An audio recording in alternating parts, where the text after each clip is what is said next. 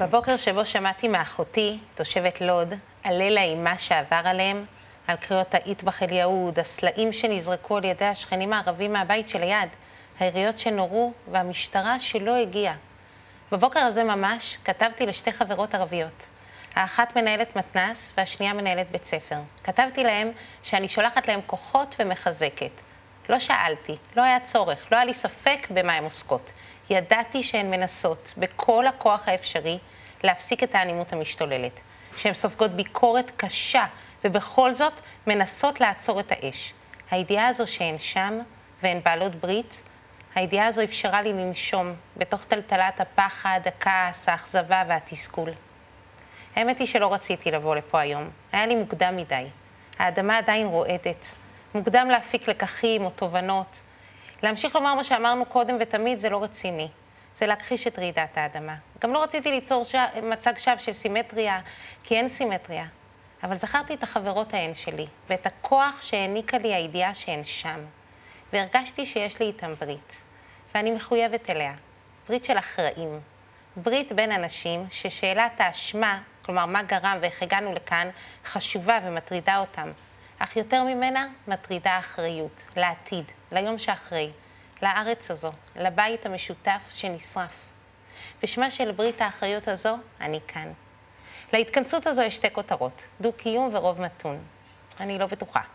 לא בטוחה שהנושא כרגע הוא דו-קיום, כמו שהוא פשוט קיום. קיומה של מדינה, מדינה שהיא מסגרת יציבה, שהיא בעלת המונופול על הפעלת כוח, ככל מדינה, שאוכפת חוק וסדר, שמפרקת משפחות פשע, שאוספת נשק, מדינה שהיא המחסום היחיד בפני כאוס, וממצב הטבע האלים שהופך את כולנו להישרדותיים. מדינה שמחויבת לחוזה הבסיסי, לפיו אנחנו משלמים מיסים וממלאים חובות, והיא מספקת ביטחון אישי. אם יש רוב מתון במדינת ישראל, יהודי וערבי, זאת צריכה להיות הדרישה הראשונה שלו. מדינה, ביטחון אישי, חוק, סדר, אזרחות, חובות, זכויות. נוצר בישראל שיח לפיו מי שבעד חיים משותפים ליהודים וערבים או חרדים, הוא נגד משטרה ובעד קהילתיות ורב תרבותיות, אפילו אוטונומיות. כאילו משטרה זה דיכוי והיעדר חירות. בעיניי זה בדיוק להפך. אין ולא יהיו חיים משותפים בלי ביטחון אישי, בלי מדינה חזקה שלה המונופול על הפעלת כוח. המשטרה טועה לפעמים, לא מעט אפילו. יש המון מה לתקן באופן פעולתה, יש עוולות איומות, אבל חז"ל שאמרו, התפללו לשלומה של מלכות, כי אלמלא מוראה, איש את רעהו חיים בלעו, נגעו באמת עמוקה. בלי מסגרת מדינתית חזקה לא יהיו חיים משותפים, כי לא יהיו חיים. גם לגבי הרוב המתון יש לי מחשבות. יותר מדי פעמים אנחנו מתרגמים את המונח הזה, הרוב המתון, כפנייה אל המכנה המשותף האנושי. כולנו בני אדם. כאילו מה שמאפיין את הרוב המתון אל מול הקצוות זה העדפת המישור האזרחי המשותף על פני המישור הלאומי המפריד. זה לא התרגום שלי. רוב הישראלים הם אנשים לאומיים. אני אדם לאומי. אני ציונית, וקיומו של בית לאומי לעם היהודי הוא חלק חשוב בסיפור שלי. ברור לי לחלוטין שחברותיי הערביות הן פלסטינאיות, ושאלת זכויות הקולקטיב הפלסטיני היא חלק חשוב בסיפור שלהם. מה שיכול להפוך אותנו לרוב המתון בעיניי זו ההשלמה המלאה עם העובדה שאנחנו חיים כאן יחד. וזה אינו מצב זמני, ואינו בר שינוי, ואסור ואין טעם לנסות למוטט אותו.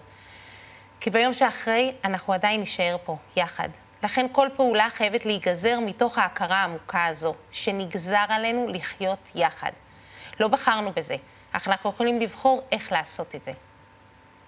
המון אנשים כתבו לי בימים האחרונים וביקשו שאתן תקווה. האמת היא שאני לא אדם אופטימי, אבל אני אדם מאמין. אני לא יודעת איך זה יקרה, אבל אני יודעת שזה יקרה.